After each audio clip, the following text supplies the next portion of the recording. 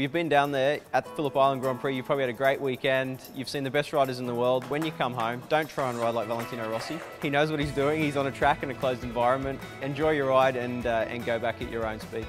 You can never prepare for the weather at Phillip Island, so from a protective gear point of view, take everything with you. But um, I always say, if it's too hot to wear leathers, it's too hot to ride a motorcycle. So in my opinion, you should be fully clothed, fully decked out in a good helmet, good boots and good protective gear, head to toe, every time you throw your leg over a bike.